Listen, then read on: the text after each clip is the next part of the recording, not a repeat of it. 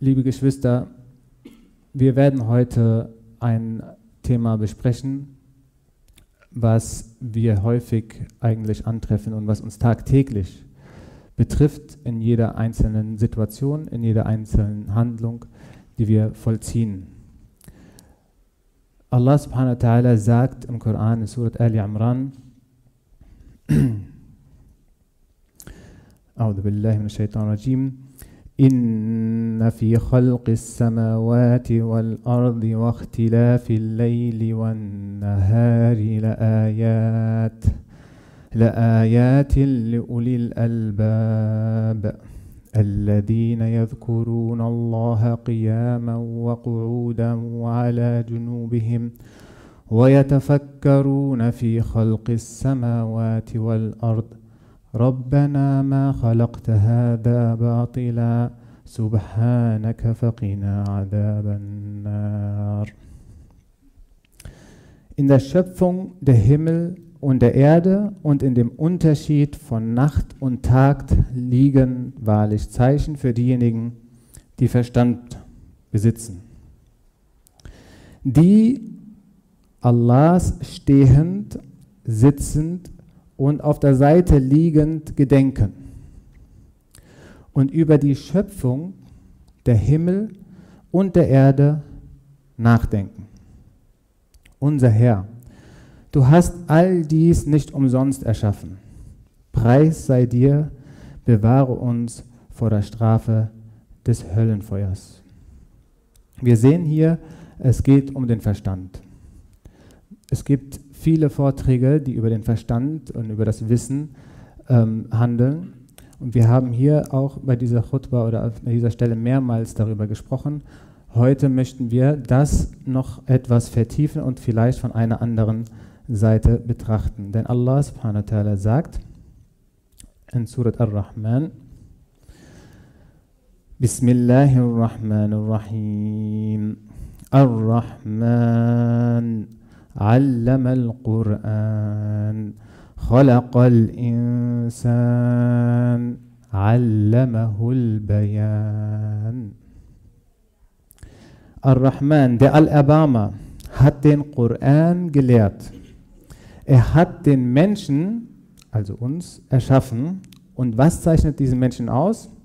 Er hat ihn die klare Darlegung dargelegt, die Unterscheidung, die Klarheit. Wenn wir uns so einen Menschen anschauen, so wie wir es sind, dann werden wir erkennen, dass wir aus Fleisch und Blut und Organen bestehen. Dass wir uns bewegen, etwas festhalten, materiell. Aber wir werden auch ganz schnell erkennen, so wie es in diesen Ayat heißt, dass wir noch etwas besitzen, was wir nicht fühlen oder anfassen können. Immateriell, ideell. Das ist der Verstand. Das ist dieser Geist, der Ruh, Seele, Verstand, all das, Al-Qalb, also nicht das Organ, sondern das Seelische mit Al-Qalb, ist nicht materiell fassbar. Und das sitzt in uns drin und das haben wir zu benutzen. Und da zeichnet es den Menschen aus, es auf dem besten Weg zu nutzen. Und so wie es Allah gesagt hat in Surat Al-Imran, diejenigen, die ihren Verstand benutzen in ihrem Umfeld und um sich herum schauen und sagen, Subhanallah, Subhanallah. Der Verstand wird im Koran sehr häufig angesprochen und in verschiedenen Formen. Ulil albab, la'allahum yatafakkarun, gedenken sie nicht. Ja? Dhikr, Al-Fikr, der Prophet Muhammad sallallahu alaihi wasallam hat sich manchmal Tage, Nächte, Wochen, vielleicht sogar Monate in die Berge zurückgezogen. Warum? Um Fikr zu machen, noch bevor er zum Propheten ausgerufen worden ist. Warum? Das heißt nachzudenken, um zu sehen. Die Frage ist, tun wir das auch? Wir haben einen Körper, wir haben einen Verstand, wir haben ein Herz. Wie viel Zeit von diesen 24 Stunden, die uns am Tag zur Verfügung stehen, benutzen wir im Gedenken und Nachdenken an der Schöpfung Allahs? Wir sind sehr abgelenkt mit Handy und Arbeit und Internet und Facebook und, und, und. Freunde, Beziehungen, hin und her. Aber wann wart ihr das letzte Mal in einer Höhle auf einem Berg und habt euch die Schöpfung angeschaut? Und darüber nachgedacht, wie Allah das erschaffen hat?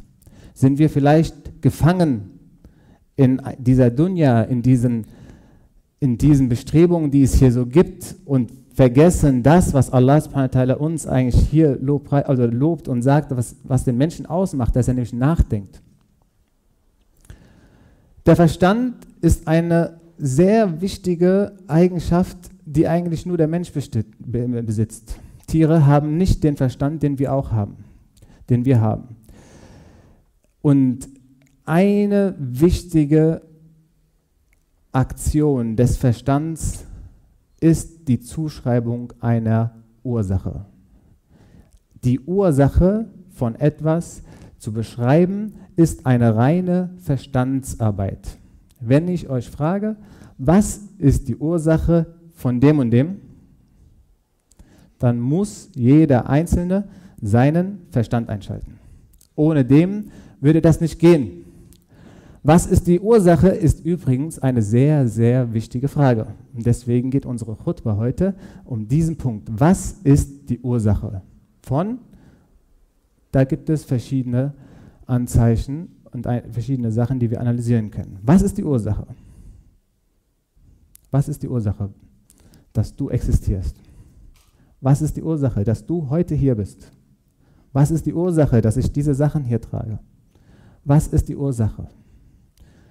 Wir benutzen alles um uns herum tagtäglich und wir sind uns manchmal nicht bewusst über das, was da ist, weil wir unseren Fokus, unseren Verstand nicht darauf abziehen.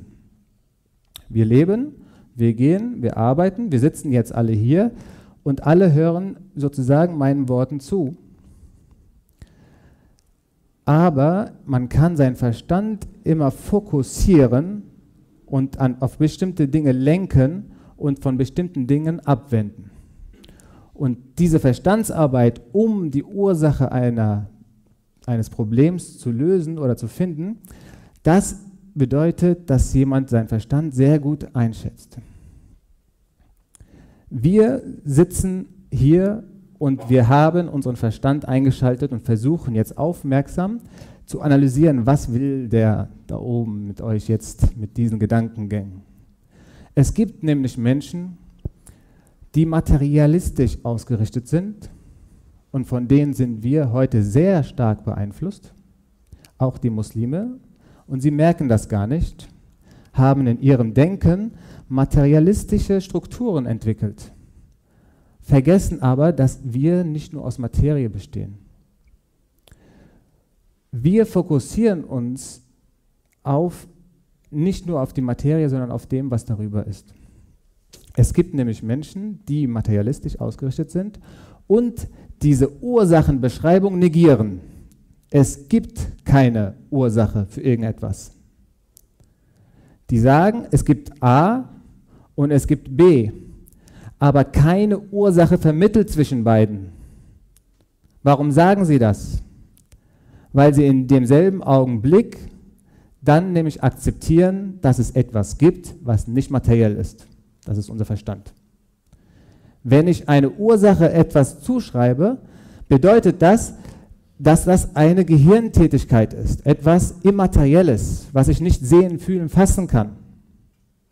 Und das möchten sie nicht haben und deswegen versuchen sie Auswege zu finden, um am Ende zu sagen, der Verstand ist nicht das, was wir so denken, sondern das Verstand oder die Gedanken sind das, was das Gehirn produziert. Neuronale Aktivität, Synapsen, die bestimmte Transmitter ausschütten und bestimmte Hormone, die irgendwie funktionieren. So wie die Leber die Gallenflüssigkeit produziert, produziert unser Gehirn Gedanken. Das ist die Aussage. Um zu negieren, dass es etwas Immaterielles gibt. Wobei wir Muslime glauben, alladina yu'minuna bil ghaib, an das Verborgene. Wir glauben an Verborgenen und an immateriellen Dingen in uns. Und sollten es uns auch wieder bewusst machen. Wie sagen sie dann? Die sagen dann zum Beispiel, ich habe ein Blatt Papier und ich habe Feuer. Wenn ich das Blatt Papier ins Feuer tue, dann sehe ich nur das Feuer und das Blatt Papier und danach das Verbrennen des Papiers. Das eine korreliert mit dem anderen, aber ich kann nicht sagen, dass das die Ursache von dem ist, sondern das kommt einfach nur hintereinander. Ich sehe zwei Dinge und ich kann nicht immer sagen, dass das die Ursache von dem ist. Und wir haben in unseren äh, in unserer Religion, auch von den Ashaira und Imam Razali zum Beispiel, der sehr viel zu dieser Thematik auch geschrieben und erforscht hat, die Grundlagen dafür, ja, er sagt nämlich, dass die Ursache von allem, jeden Einzelnen, das Verbrennen des Papiers Allah ist und nicht das Feuer. Und hat dafür seine Beweise geholt. Und darauf aufbauend, Imam Razali war deutlich früher, aber es war nicht nur Imam Razali, sondern Ilm al-Kalam und Ashaira, die haben das dann später übernommen. David Hume ist ein ganz bekannter, der das nämlich übernommen hat aus dem muslimischen Gedankengut, um, die Muslime haben das benutzt, um den Islam zu rechtfertigen und um das Islam, um Allah als die Ursache darzustellen. Und er hat es dann genommen und kopiert und das mit Allah rausgeschoben und gesagt, dass es keine Ursache gibt, um das komplette Immaterielle auszublenden. Wir müssen halt in diesen Fällen diskutieren, so wie zum Beispiel Ibrahim a.s. ins Feuer geworfen worden ist. Ibrahim a.s. ist ins Feuer geworfen worden. Hat ihn das Feuer verbrannt? Nein, hat es nicht.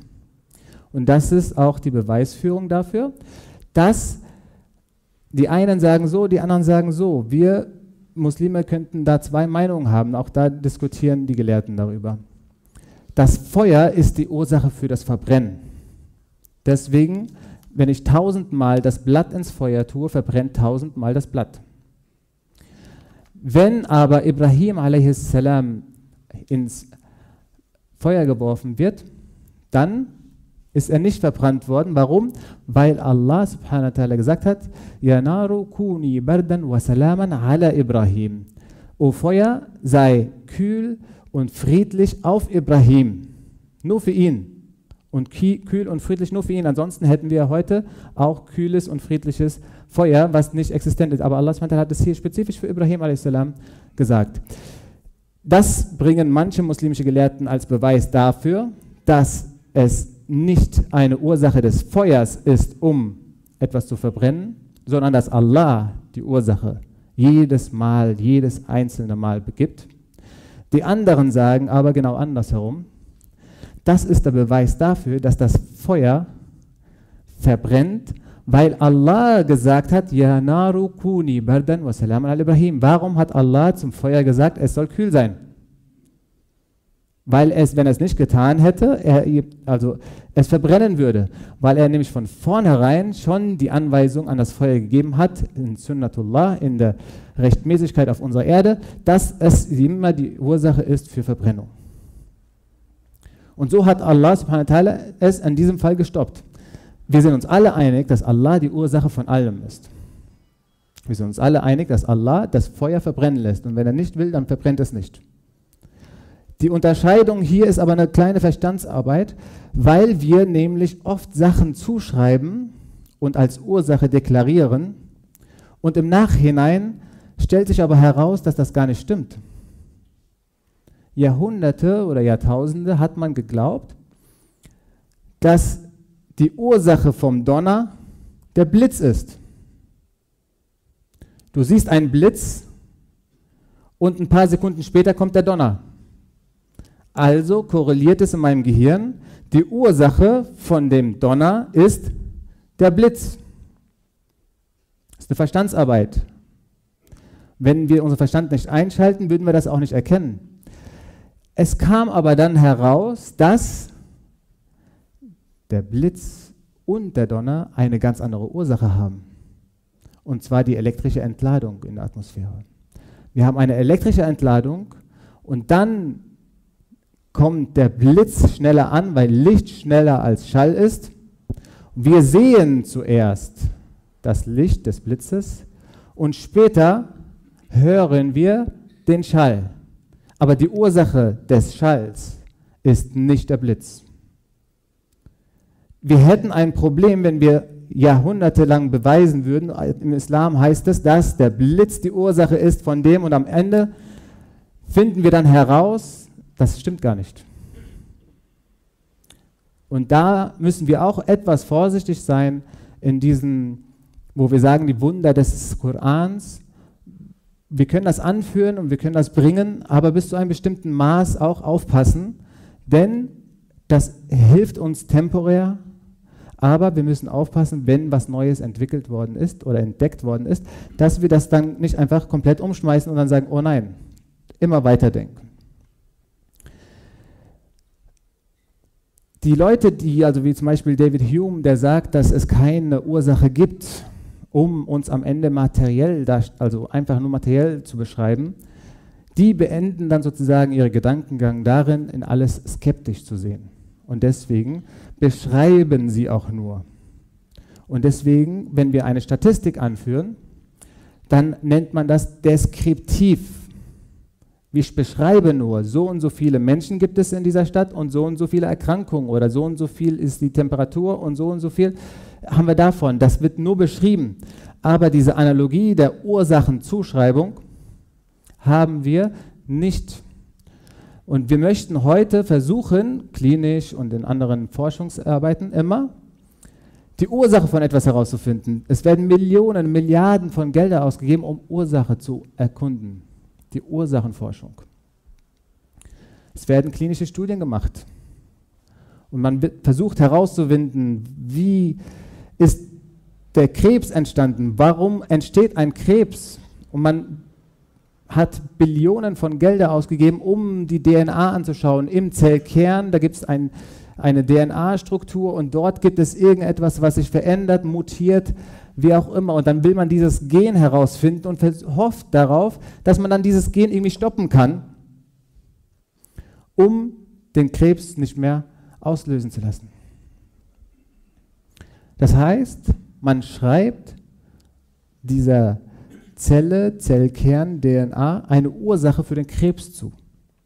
Das machen sie. Kann es aber nicht auch sein, ja, dass wir eine Zelle haben, die Ernährung von außerhalb bekommt, außerhalb der Zelle. Wir haben eine Zelle, sie bekommt ihre Ernährung aus der extrazellulären Matrix um die Zelle herum. Pischinger Raum oder wie man das auch nennen mag. Um die Zelle herum ist Flüssigkeit. Und von dort gelangen die Nährstoffe in die Zelle hinein. In der Zelle wird das verarbeitet und die Abfallstoffe werden wieder hinaustransportiert.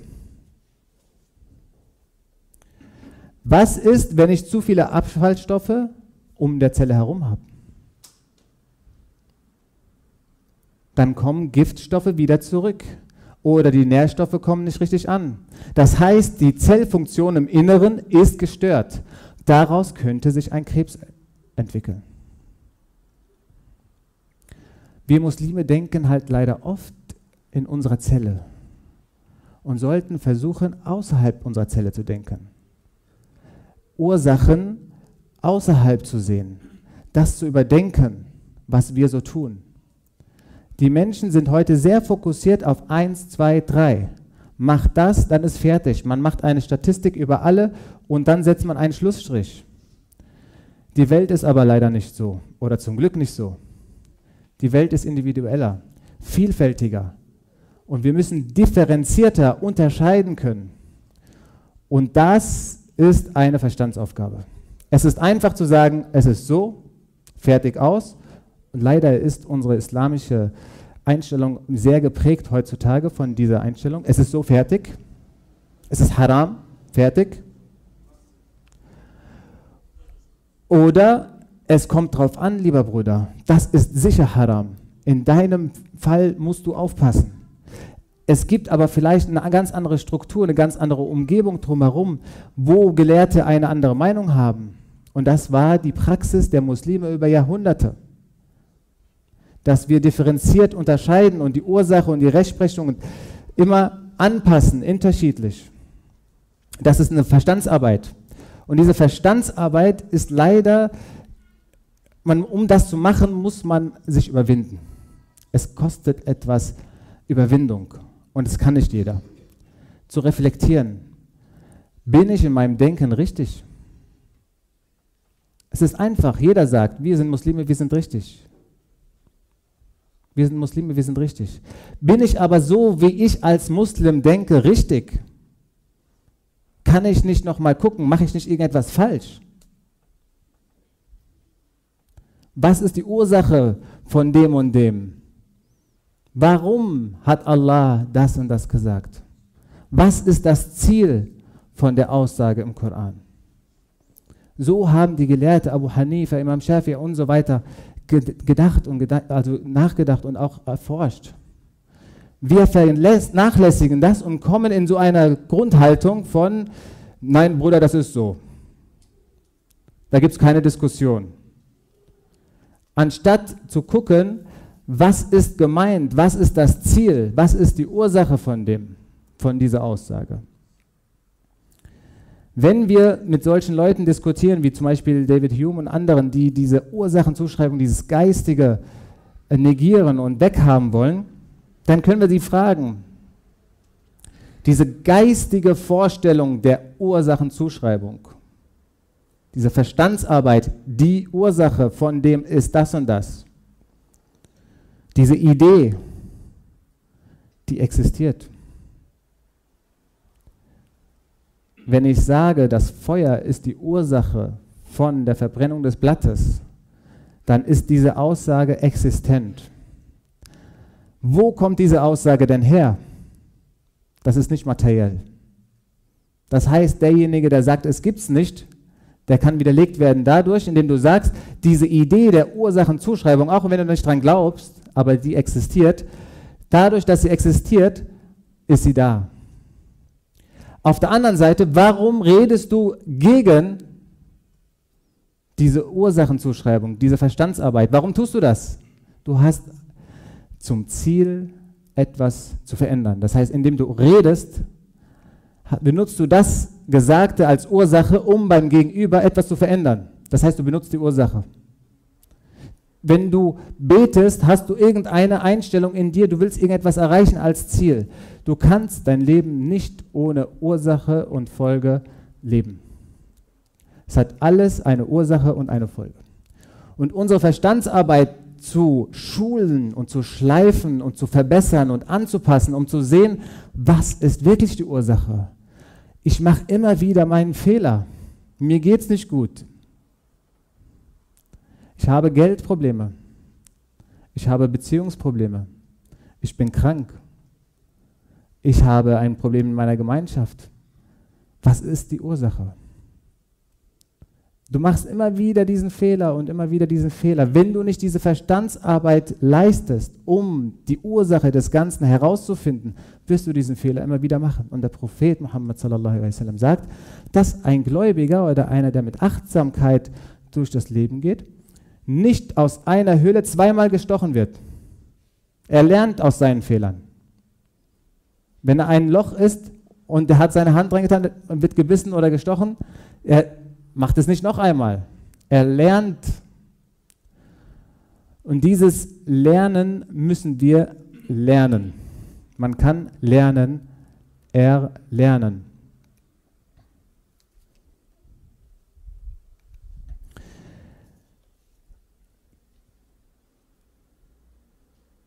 Wir haben gesehen, dass wir unseren Verstand benutzen, um bestimmte Zuschreibungen zu machen. Zu sagen, das ist die Ursache von dem. Dafür brauche ich meinen Verstand. Und dieser Verstand zeichnet uns Menschen aus und diesen Verstand lobt Allah im Koran an vielen Stellen. Wie wir vorhin gesagt haben, wir neigen oft dazu, nicht achtsam zu sein. Nicht achtsam unserer Umgebung gegenüber nicht achtsam uns selbst gegenüber. Wenn wir achtsam wären, dann würde Le unser Leben, unser Zusammenleben ganz anders sein. Allah subhanahu wa beschreibt uns oder ruft uns im Koran immer wieder darauf, äh, äh, äh, ruft uns dazu auf, achtsam zu sein. Ittaqullah. Ja, seid achtsam Allah gegenüber. La'allakum tattaqun, auf dass ihr achtsam sein möget. Taqwa, Taqwa, ittaquh, ittaquh, la'allakum tattaqun. Immer wieder in verschiedenen Formen. Wenn jemand Kinder hat zum Beispiel und ihr kennt das alle, hast du deine Hausaufgaben gemacht? Oder hast du dein Zimmer aufgeräumt? Immer wieder sagt es der Vater oder die Mutter. Hast du deine Hausaufgaben gemacht? Wieso hast du deine Hausaufgaben noch nicht gemacht? Machst du deine Hausaufgaben noch? Hast du die Hausaufgaben schon erledigt? Immer wieder in einer anderen Form. Warum macht man das? Warum benutze ich immer wieder neue Wörter? Weil er die Hausaufgaben nicht gemacht hatte. Ganz einfach. Wenn er die Hausaufgaben gemacht hätte, würde ich nicht nochmal fragen und in verschiedenen Formen fragen. Wenn er es gemacht hätte, würde man nicht nochmal fragen. Und Allah subhanahu wa ta'ala weiß genau, dass wir unsere Hausaufgaben nicht machen, dass wir nicht achtsam sind. Und deswegen fragt er in verschiedenen Formen, einmal so, einmal so und auf das ist und so weiter. Es würde ausreichen, einmal zu sagen, seid achtsam. Ittaqullah, einmal im Koran. Gibt's, es gibt eine Aufforderung im Koran, وَمَنْ شَهِدَ مِنْكُمْ الشَّهْرَ فَلْيَسُمْ Wer von euch den Monat Ramadan ähm, erfährt, der soll den Monat fasten. Und was ist passiert? Alle Muslime fasten. Der, der betet, der vielleicht nicht betet, der schon irgendwie weit weg von der Religion, alle Muslime fasten. Es ist nur einmal im Koran beschrieben. Nur einmal. Milliarden und eineinhalb, eineinhalb Milliarden Menschen fasten. Aufgrund eines Worts, Fal Yasum im Koran. Aber an über 200 Stellen im Koran steht, Ittaqullah, Ittaqu, seid achtsam, habt Achtsamkeit, schaut um euch herum, benutzt euren Verstand. Warum? Weil es schwer ist. Es ist schwer für uns, achtsam zu sein. Und Allah kennt uns und er will uns helfen. Und deswegen sollten wir versuchen, achtsam zu sein in unserer Umgebung. Wenn wir Achtsamkeit erlangen wollen, dann müssen wir unsere Augen öffnen und fokussieren auf bestimmte Fehler, die wir machen. So wie ihr hier jetzt alle sitzt, hört ihr mir zu und ihr seid achtsam mir gegenüber, den Worten. Keiner von euch ist oder fühlt seine Hose oder sein T-Shirt. Habt ihr ausgeblendet.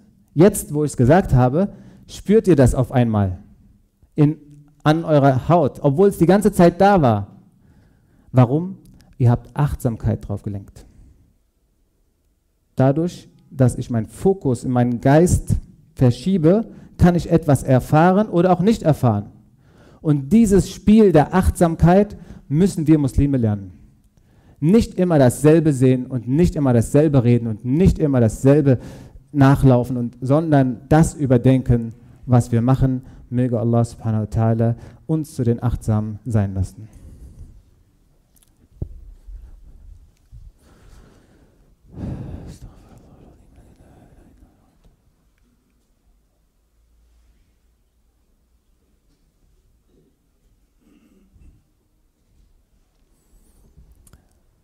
إن الحمد لله نحمده ونستعينه ونستهديه ونستغفره alles Lob gebührt Allah, der uns einen Verstand gegeben hat, den wir zu benutzen vermögen. Ein Gelehrter oder einer, der im Namen des Islams spricht, wurde gefragt, ist es erlaubt, von Nicht-Muslimen Wissen anzunehmen? Und er antwortete, wenn es dich nicht von deinen Gebeten und von deinen Handlungen dem Islam gegenüber ablenkt, dann ist es erlaubt unter der Bedingung von 1, 2, 3, 4, 5, 6. In so einer Welt leben wir. So ist unser islamisches Verständnis heute. Anstatt zu sagen, du es ist Pflicht, das Wissen anzunehmen, macht er es so, als es ist erlaubt, wenn so an 1, 2, 3. Es ist Pflicht, Wissen anzunehmen. Al-Hikmatu dallatul mu'min. Die Weisheit ist das verlorene Gut des, des Gläubigen. Er muss es, wo er es findet, muss er es knapp, muss es holen. Da gibt es keine Diskussion. Aber unser Verstand wird immer mehr eingeschränkt in unseren islamischen Moscheen, Gemeinden, unter Brüdern, Vorträgen. Und es ist wichtig, mit sich selbst anzufangen. Ich fange mit mir selbst an. Du sollst mit dir selbst auch anfangen. Wir reden nicht über die Gelehrte, über die Imame, über die Umma. Alle Muslime, warum reden wir über diese Ursachenzuschreibung? Was ist die Ursache von unserer Lage heute auf der Welt? Jetzt gibt es verschiedene Theorien. Jeder hat etwas anderes im Kopf. Ein Bruder wird denken, weil wir den Misswerk nicht benutzen. Und das gibt es. Unter uns Brüdern gibt es Leute, die denken, wenn wir den Miswak benutzen, würde die muslimische Gemeinschaft ganz anders werden. Die anderen sagen, weil wir kein Kalifat haben. Und das gibt es. Es gibt Leute, die denken, wir müssten einem Kalifat hinterherrennen und wir brauchen irgendwie Scharia und müssen irgendetwas hochjagen. Lieber Bruder, du hast Probleme mit deinem Vater, mit deiner Mutter. Diese Geschwister haben Probleme in ihrer Familie und wollen ein Kalifat gründen. Fang bei dir selbst an, bitte. Fang bei dir selbst an. Verändere das, was deine Umgebung zum Schlechten gebracht hat. Such dort die Ursache. Was hat dich in diese Lage gebracht? Du kannst doch nicht die ganze Welt retten, wenn du in deiner Familie Probleme hast. So denken wir. Es ist wichtig, bei sich selbst anzufangen. Und wenn man nicht bei sich selbst anfängt mit Selbstkritik, und das, was man überlegt und nachdenkt, nicht nochmal überdenkt, dann bleiben wir so, wie wir sind. Und es geht immer so weiter. Und wir fallen immer wieder hin. Und wir sind immer wieder krank. Überlegt. Es gibt verschiedene Ursachen für bestimmte Erscheinungen. Es ist nicht einfach herauszufinden und einzusehen, dass ich einen Fehler gemacht habe. Und Allah sagt im Koran, dass die Gläubigen bezeugen, ob es richtig oder falsch ist, auch gegen sich selbst. Wenn ich vor einem Richter stehe und es geht um irgendeine Thematik und ich bin beschuldigt, dann muss ich sagen, ich habe das und das gemacht. Und es gegen mich selbst. Oder gegen meinen Vater oder gegen meine Mutter oder gegen... Wir sind mit der Gerechtigkeit. Wir versuchen das klare Al-Bayan darzustellen. Ja, was ist klar? Das ist die Arbeit eines Gläubigen. Und wer das schafft, der fällt sehr wahrscheinlich unter diesen lobenden Versen aus dem Koran, die Allah subhanahu beschreibt. Diejenigen, die nachdenken, die Erscheinungen analysieren und die Ursachen versuchen, noch etwas anzupassen. Was habe ich in meinem Leben gemacht? Und ich kann euch tausende von Beispielen bringen, wo manche Leute denken, das ist so und sie machen das immer wieder. Ich bin Arzt, in meiner Arztpraxis kommen Menschen und sie essen ihr, sie essen immer Joghurt und Milch und Kakao und trinken und so und so irgendwas und haben ihre Schleim, Schleim in der Nase und Sinusitis und Nasennebenhöhlenentzündung und so weiter. Gehen zum Arzt, die Nasenscheidewand ist schief. Die Nasenscheidewand wird operiert, ist immer noch Schleim da. Die Nasenscheidewand ist nicht die Ursache.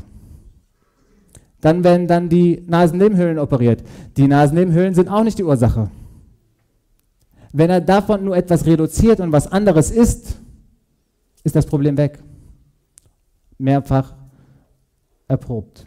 Seit Jahrtausenden in Ayurveda, in TCM, in der Yunani-Medizin bekannt. Aber heute denken wir anders.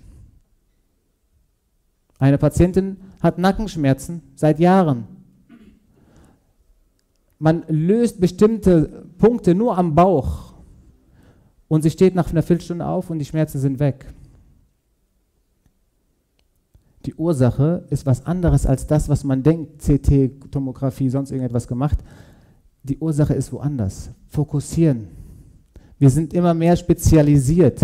Der Arzt guckt in die eine Richtung. Es ist der Internist, der Kardiologe. Und bei der Kardiologie ist er spezialisiert beim Herzen dann noch auf die elektrophysiologische Untersuchung, EPU, und dort ist er dann der Spezialist bei Vorhofablation und so weiter. Und es ist immer tiefer und das ist dann der höchste.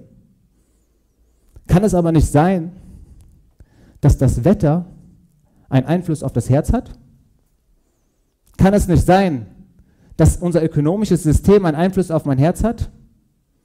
Kann es nicht sein, dass mein Umfeld oder meine soziale Verbindung einen Einfluss auf das Herz hat? Wir müssen raus aus unserer Zelle.